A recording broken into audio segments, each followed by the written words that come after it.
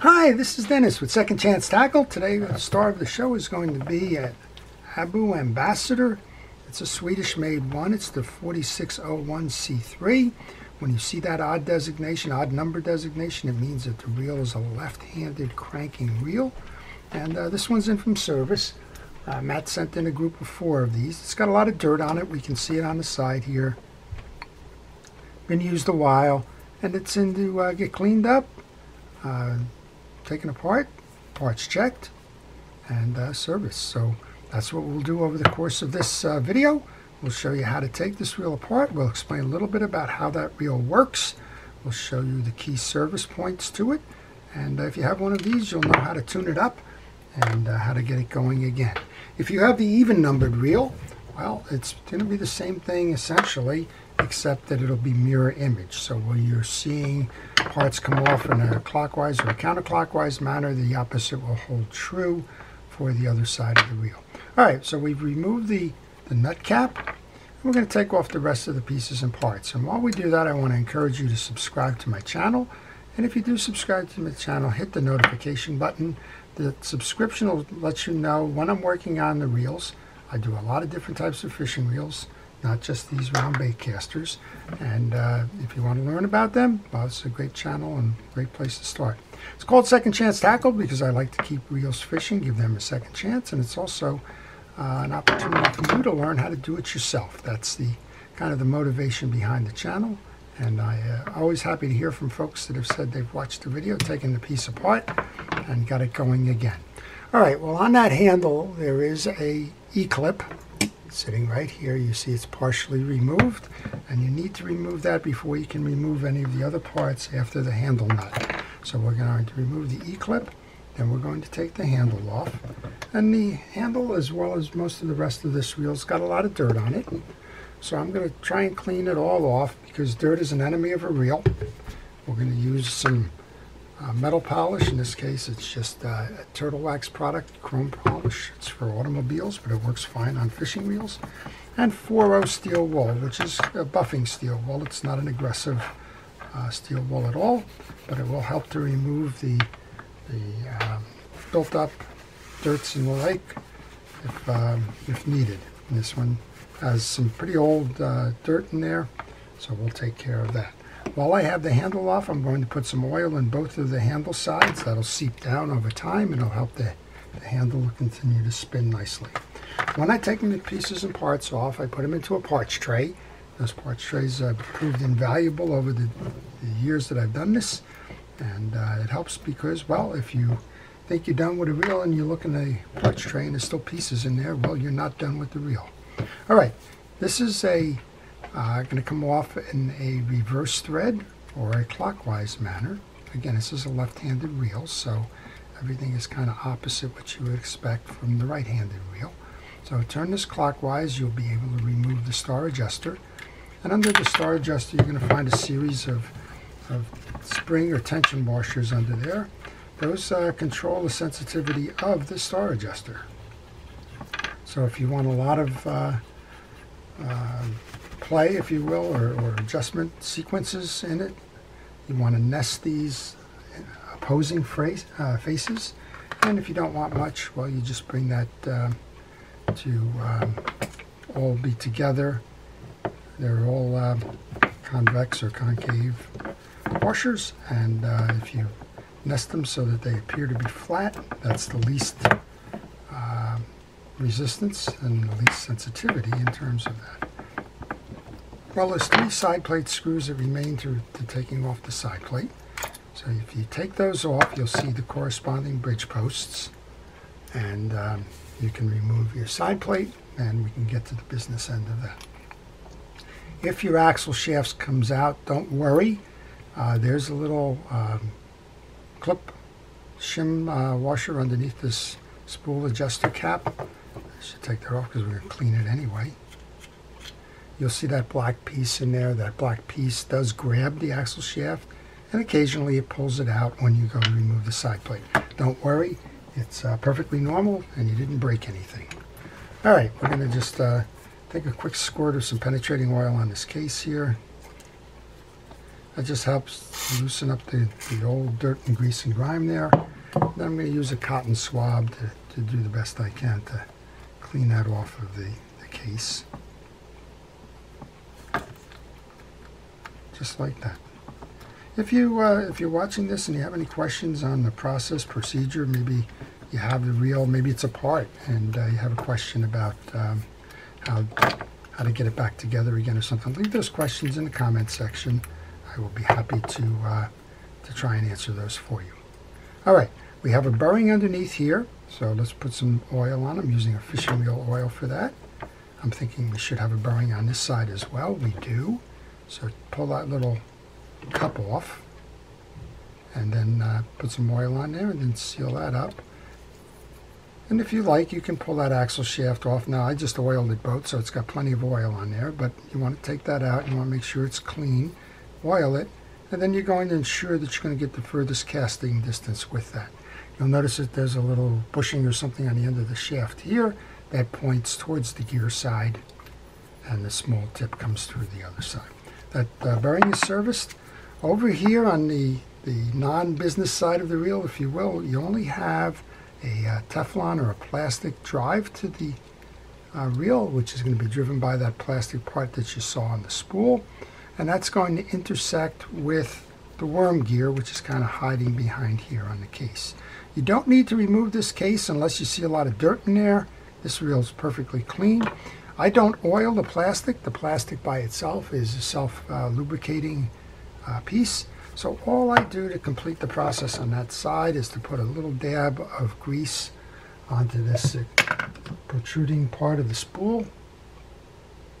And that's kind of to get it set in that rear case bushing.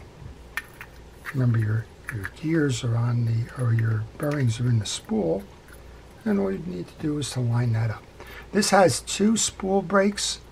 You want to pull them out if you need more uh, tension on your casting and push them in if you don't. And this one has kind of a little bit of a dirty case here. Well, I'm, I do not need to use the penetrating oil on that. I'm going to use a rod and reel cleaner here. This one happens to be by Penn. And a kitchen scrubby. Just one of those little ubiquitous screen pads. And I'm just going to remove the crud. I guess crud is a technical term, huh? That crud that's built up there from leaking oils and greases that have dried out over time. We'll do that. I'll just polish that up. I'm going to also use that on the case. We did the penetrating oil on the one it was a little difficult. We'll use it on the case here to continue the cleaning and the polishing. All right, well, that's a simple enough side of it there in terms of dealing with the non-mechanicals. A little bit of cleaning, a little bit of showing you how that spool bearing setup works. And now we're ready to get into the gear side here and uh, take care of business with that. So there's two Phillips head screws that are holding the side case on. You want to go and remove those. I'm going to put those right into my tray there so I don't lose them and I know where they are when I go to reinstall. So the C4, uh, the C3 was a change and the basic change in that one was going to the um, a little bit of a different setup internally. Just want to get these tension washers off. They seem to be stuck there. That one does. All right, now we can remove it and show you. So it, it the primary change is you have a instant anti-reverse clutch and you have a simplified uh, bridge. So if you've worked on some of the others and you're wondering what's the difference, well that's pretty much the difference there. As I mentioned, these tension washers are not flat. They, they have a, a belly to them. And the way I like to set them is the outer rims touching and opposing, sort of like this. That leaves a gap in the middle and that gives you more sensitivity on your uh, adjustments. All right, let's just take care of the side case. There is a little bit of old grease in here, so we want to get that old grease out. Again, I'll use a cotton swab and I'll use another one to get any residual dirt that may be uh, in there. Well, this is funny. The tip fell off of the cotton swab Hopefully one of these days they'll make these papers. Right now there's straw. And uh, people have asked me, is there any substitute for your brake if you've lost a brake? Well, believe it or not, that little straw there from the tip of the, uh, the cotton swab will fit over that piece and you can mimic that brake and replace it to a certain extent just by using a, a small piece cut off of that. Just uh, happy, uh, happy circumstance there that it fell off to show you that. All right, that's off to the side. This has been cleaned. Let's go over and take care of your gear. And let's take care of the yoke assembly. So we'll work from the bridge plate backwards.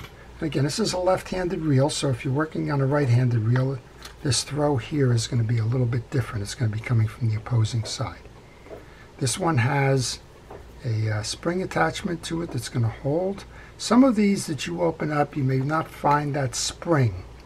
What you may find instead is that there's going to be a post here that this is going to sit, the shoulder of it's going to sit to prevent it from coming up. In this case, we have the spring. We're going to remove the yoke and the pinion gear. And we're going to take the jack assembly off. Remember that spring, don't go too crazy with that. And then we're going to remove the trip arm. That'll enable us to get the grease off of that main face there. So I use whatever I can that's the least abrasive when I'm cleaning up these pieces. That means if I can get away with a paper towel or cotton swab, I'm going to do that first. Then I'll go to that green uh, pad, that's scrubby. And then as a last resort, I'll go to the uh, steel walls. And I never go beyond that in terms of trying to clean that stuff up. All right, we're going to just make sure that all of this is clean as well. That old dry grease is going to slow down the performance of the wheel. So uh, you just want to take care with that. To reinstall, there's two sides. There's a flat bar on this trip assembly, and then there's one that sort of has a peak to it. The peak points up. And you could, if you want, put a very light coat of grease on this, or you could put a, uh, a splash of oil on there. Either one will be acceptable. All right, we're just going to seat, seat that properly there. That goes all the way down, and it comes up. You're going to notice that there is a hole here. It's an elongated hole on the bridge. Well, actually, it's going to be coming in from this side, and that is your thumb release to this. There'll be a point there, and that thumb release will come through here. And then when you push down, it's going to, to push the whole assembly down to enable a free spool. All right, we're going to take that. Now we have the cleaned piece here. Again, you can put a light coating of grease. Don't go crazy, but a light coating of grease on the surfaces that are going to touch. You want to bring the assembly over so that you can mount that.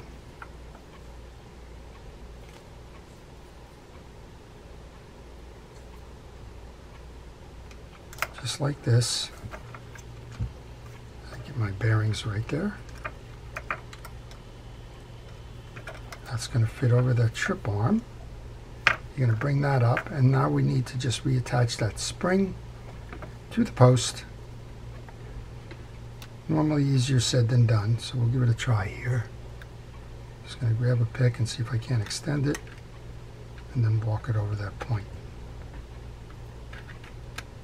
Sometimes you can, sometimes you can't. So when I first got started on this a long time ago, I was told there's basically two things you need to do when you're working on a reel. Is you need to have some patience and you need to have a sense of humor. because we've seen enough things fly. All right, properly installed spring, properly installed jack, properly installed trip lever. Oh, spring just popped off. There's your sense of humor.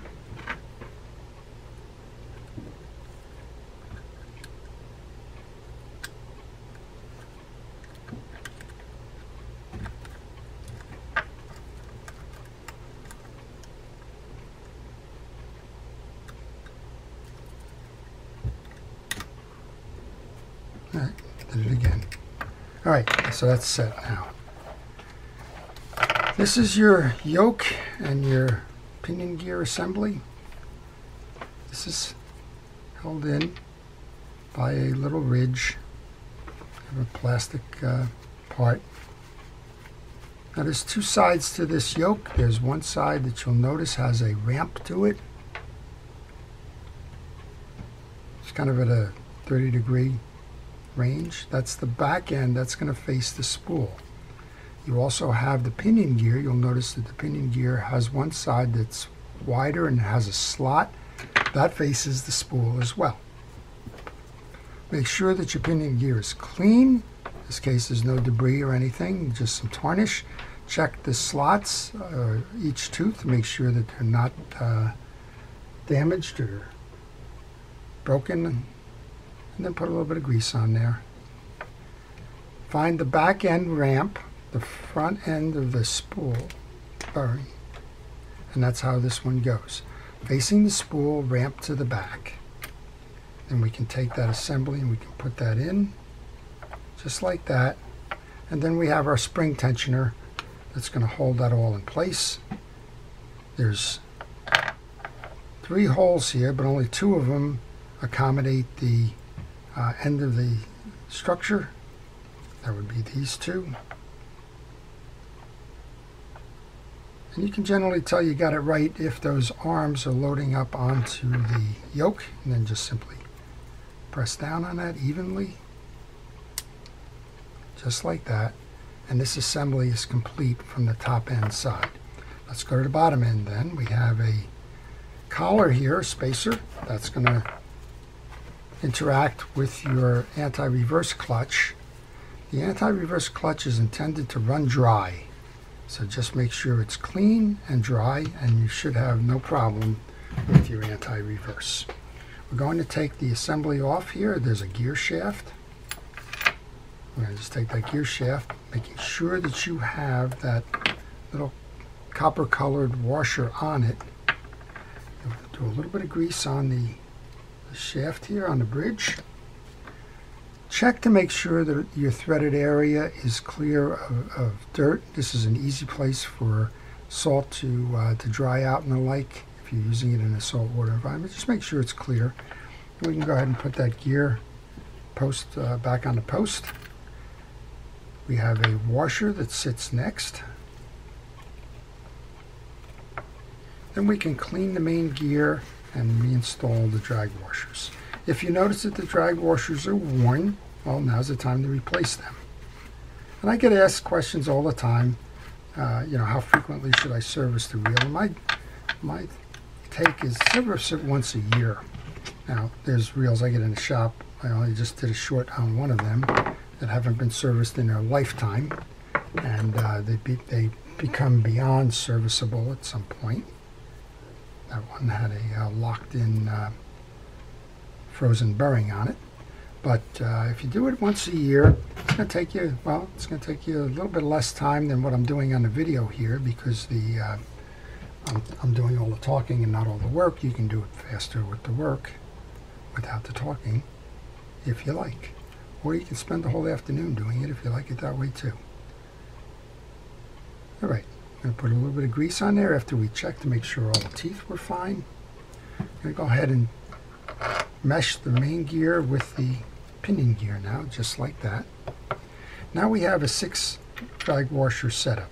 These are hard washers. You don't need to do anything with them. You should make sure that they're clean. You don't need to oil them. And they alternate metal washers and hard washers or fabric washers, whatever you have in yours.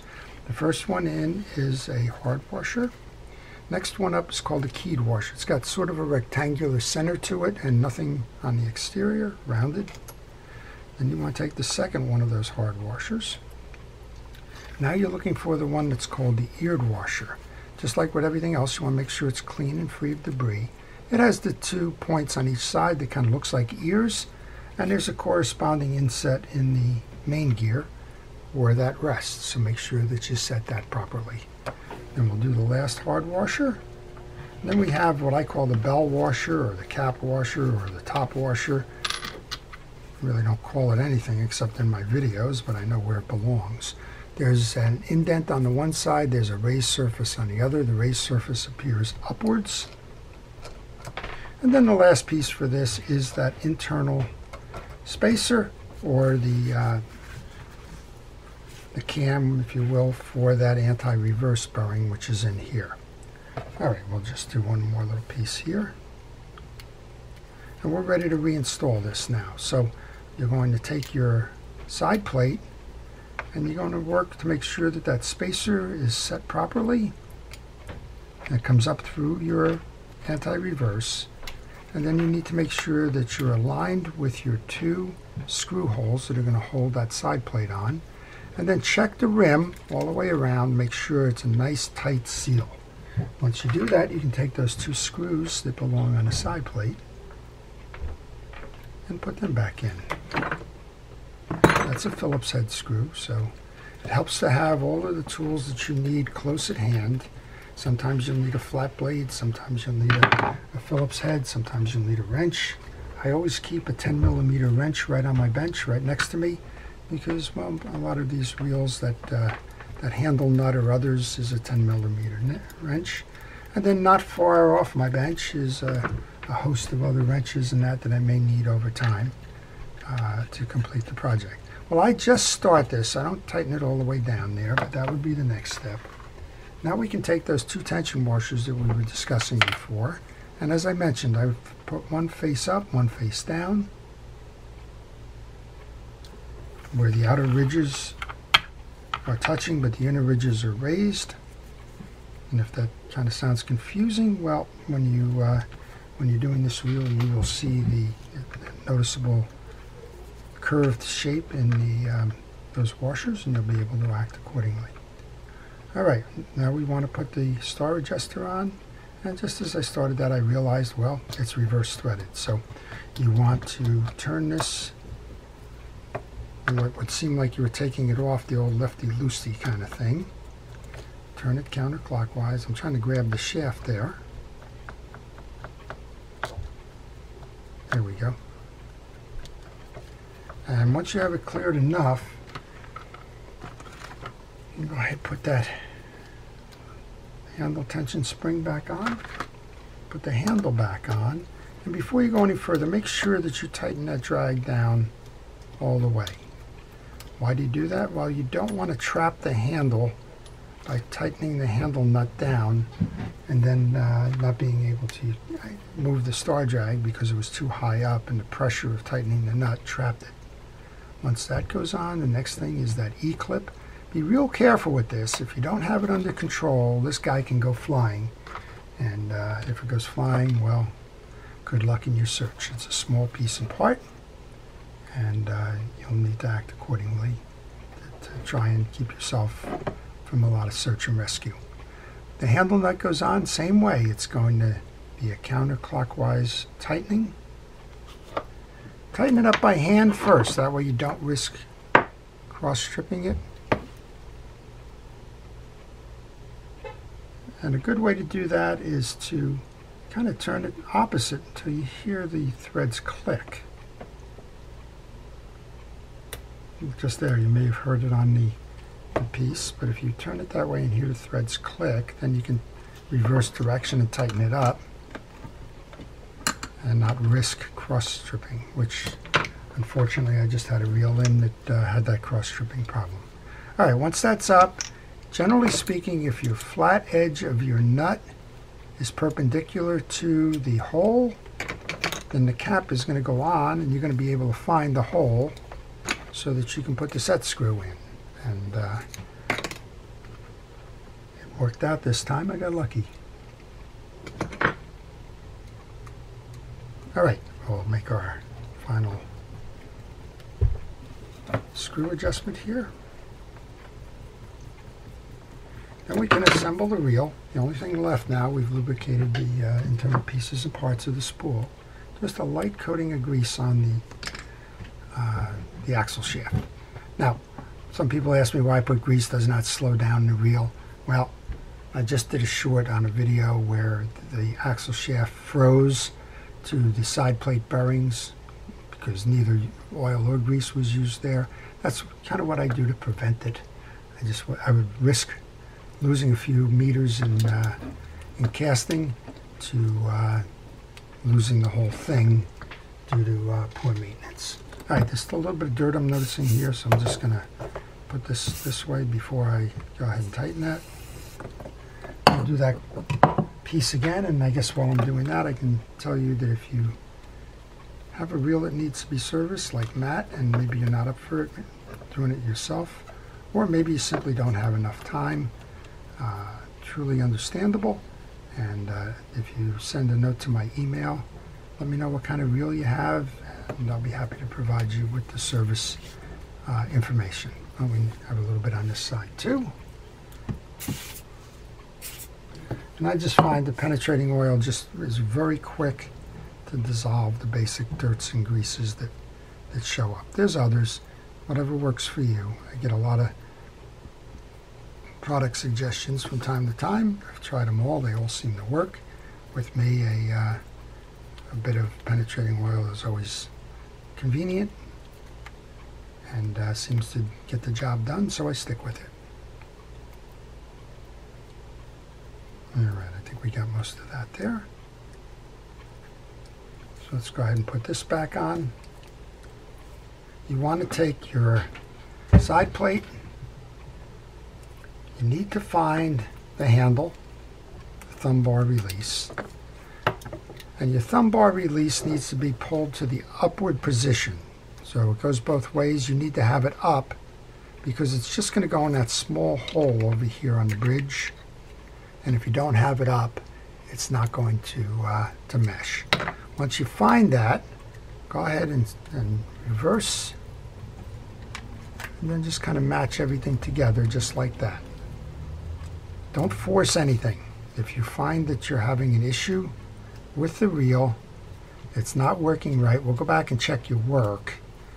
It's Particularly on some of these older Ambassadeurs, if you have a, a finger uh, anti-reverse dog, the one that has the the two sides to it that grabs the, the click ratchet behind the main gear.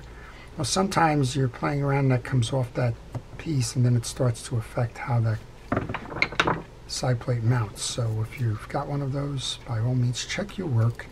Don't force anything and uh, you'll be happy with the results. Well, there's only one more thing to do now, uh, short of testing the reel, and that's to service that pawl.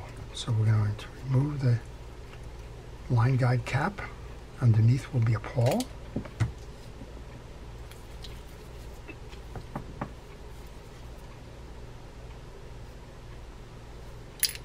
There we go. Pawl sits underneath. You want to grab that with the pliers. Having a little trouble, just tap it out. And on that pawl, you want to check to make sure that the points on the pawl remain good. This one's in fine condition. And you want to take a pick and make sure that there's no dirt on the shoulders of that. A lot of times these um, line guides will hang up on one side or the other. And when you uh, go to take a look at it, it's because there's been debris that's accumulated in there. And that accumulation has gathered right on that shoulder point. And the problem is that the um, debris won't allow it to run properly in the tracks, and that uh, that causes the issue. All right, so want to install the cap. This one's a, a narrow-based um, Ambassadeur. It doesn't have a wide spool at all. Perfect for uh, well, fresh water and inner ocean once that cap is uh, started, finish it off with the screwdriver. And uh, now it's time for a test. So the first thing you want to do is test to make sure that the wheel is turning right, nice and smooth. There you go. Well, that happens when you, you clean out the dirt and you put in the, uh, the fresh oils and greases. We can put a drop of oil onto that worm gear. I don't use grease because grease traps dirt. I do use the oils. Now we want to make sure that our free spool is working, so press down on your free spool and rotate the spool. That's working fine. Remember what I said, that we left this loose. You can adjust your spool accordingly. Make sure that it trips when you turn the handle. There you go. Turn, trips nicely. and uh, make sure your drag is tight. No, it's not tight enough. It's tight, and then once uh, once you make sure it's tight, back it off. You should back it off after each trip. You don't want to press the oils and greases out of those drag washers. You don't want to have them sticking to the metal. So that's it. That's your uh, Abu Ambassadeur 4601 C3. How to take it apart, how to service it, and uh, how to put it back together again and ensure that it uh, it's going fishing for a long time to come. So I hope you've enjoyed that. To all of our first responders and essential personnel, thank you for everything it is that you've been doing to keep us safe. And to all, please stay safe, stay well, and stay watching. This is Dennis with Second Chance Tackle. Have a great day.